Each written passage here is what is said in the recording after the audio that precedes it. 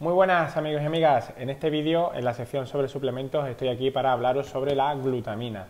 Deciros sobre la glutamina que, aunque no sea un aminoácido esencial, es uno de los más importantes a la hora de eh, prevenir el catabolismo muscular. Vamos a ir desglosando todos estos términos para, de un modo más coloquial para que todo el mundo los pueda entender. Eh, ya sabemos, como bien explicaba en el vídeo de los aminoácidos y la proteína, que la proteína realmente está compuesta por aminoácidos, aminoácidos que son 20 y de los cuales hay 9 que son esenciales, es decir, que nuestro cuerpo no es capaz de sintetizar y los otros restantes, los otros 11, nuestro cuerpo sí que es capaz de sintetizarlos a través de otros nutrientes. En el caso de la glutamina, nuestro cuerpo es capaz de sintetizarla. Debemos de decir que la glutamina es el aminoácido que en mayor volumen se encuentra presente en nuestro tejido muscular. Sin embargo, cuando hacemos entrenamientos intensos de larga duración y estos entrenos son continuos, es uno de los aminoácidos que más se, que más, digamos, se deteriora en nuestro organismo y se consume. Por ello, eh, existe la glutamina como suplemento y no se cogen otros tipos de suplementos. Decir también que la glutamina no solo se encuentra en suplementos, sino que la glutamina realmente la consumimos todos siempre a través de lo que más, carnes rojas y pescados. Tened en cuenta que todo lo que son carnes y todo lo que son pescados y tal eh, es lo que mayor aporte proteico nos da.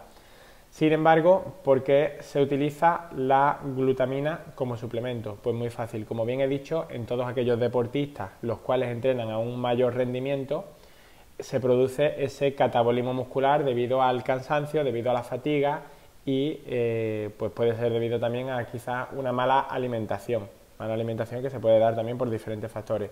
Entonces, como este, no siendo esencial, es de los más importantes, pues es por ello por lo que también se comercializa como suplemento para ese correcto o bueno, para ese aporte extra y prevenir el catabolismo muscular. El catabolismo muscular no quiere decir otra cosa, digo, aunque suene una palabra un tanto extraña, lo único que quiere decir es que nuestro cuerpo debido a ese exceso de entrenamiento, de carga y tal, se consume a sí mismo. Es decir, eh, como no estoy consumiendo la glutamina de fuera, ¿de dónde la saco? La saco de mi propio músculo para regenerarlo. Entonces, ¿qué estoy haciendo? Me estoy comiendo a mí mismo o comiéndome mi propio músculo. Y por ello, lo que hace es que pierdes tejido muscular. Este catabolismo se suele dar en dietas de adelgazamiento o cuando se entrena demasiado, llegando a épocas de sobreentrenamiento. Entonces, en el fitness o en el bodybuilding o todo esto, se consume la glutamina por eso, porque va a ser un elemento recuperador y sobre todo eh, va a prevenir esa falta de glutamina haciendo que nuestro cuerpo pues no la tenga que quitar. Otro ejemplo más que pongo, eh, si no estoy consumiendo la suficiente cantidad de proteína y me machaco entrenando mis bíceps, esos bíceps no van a recibir ese aporte, sin embargo, se regeneran y se curan. Pero ¿de dónde obtienen esa proteína? Pues la van a obtener de cualquier otro músculo a los cuales la quita y la pongo. Es como si te quedas sin dinero en la cartera y dices, bueno, pues no tengo dinero en la cartera, ¿de dónde lo cojo? De la cuenta bancaria y me lo llevo aquí.